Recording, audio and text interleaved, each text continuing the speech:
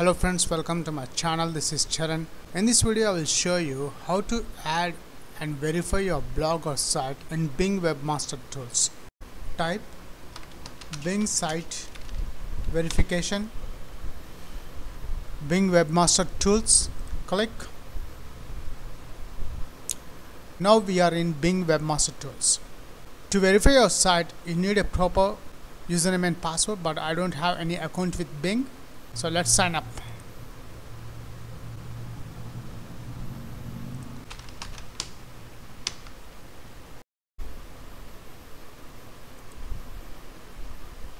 Create account.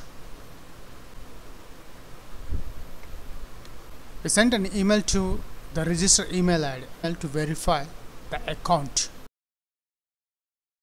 So this is the mail we just received from Bing. Verify your email address now enter the password. Just now we verified our account. Now it's time to verify our site in Bing search engine. Let's go to Google Bing verify site Bing webmaster tools. Now let's log in with our credentials. After login to my Bing webmaster add your site.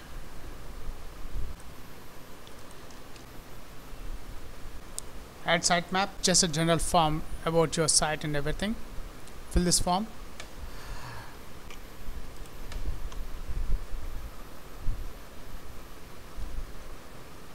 Save.